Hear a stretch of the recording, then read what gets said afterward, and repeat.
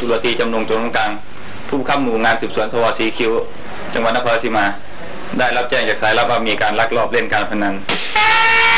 เจ๊คนนี้แกเป็นนักพนันหนีตำรวจมา คุณตำรวจก็ไล่ตามมาติดๆครับ พอมาถึงตรงนี้เหตุการณ์นี้ก็เกิดขึ้น หยุดเอาบอกให้หยุดหยุดทำไมจะสู้เหรอ แล้วมันยังไงอะจะจับก็จับ ฉันให้จับแล้ว อุ้ยทำไมให้จับง่ายๆอย่างนี้เล่า เอ้าเฮ้ยไงกลายมาเป็นจับตำรวจเล่า มันยังไง เฮ้ย อะไรเนี่ย ตายตายจับเข้าไปเต็มเป้าเลย แกคว้าแขนตำรวจมาจับอกแกเต็มๆเลยครับทำไงดี เฮ้ย อะไรเนี่ย จับฉันแล้วอย่าเอาฉันไปโรงพักนะ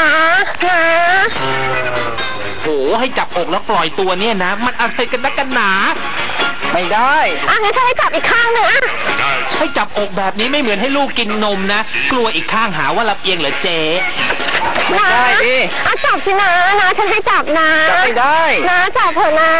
ไม่ได้ นะฉันให้จับนะ ไม่จับใช่ไหมไม่จับไม่ฉันกลับแล้วเฮ้ยจับสิอะจับก็จับสิอะจับไม่ได้ไม่จับใช่ไหมไม่จับไม่ฉันกลับแล้วพี่ต้องจับดิอะจับก็จับสิอะจับสิอะนะไม่จับจันะบจากนั้นไม่จับไม่ได้ ไม่จับใช่ไหมไม่จับฉันกลับแล้ว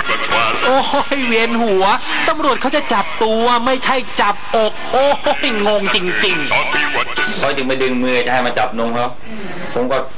สะบัดมือหนี้แล้วเดินหนีเขาก็เดินตามตื้อมากอดแขนพี่จับเอ้ยอย่าเอาหนูไปเลยจะจะพยายามจะให้จับนมอย่างเดียว